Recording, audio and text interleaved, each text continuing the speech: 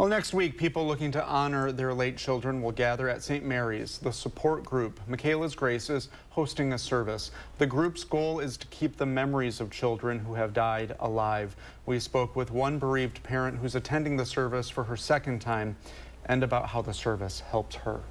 I think these ceremonies are important because there aren't very many ways to honor a child that you've lost. And it feels like there isn't a you know, a right way or a wrong way or a very public way to do it. There aren't very many opportunities. So this is one of those opportunities to honor your child, surrounded by other people who get it. It's painful, but it can also be very healing.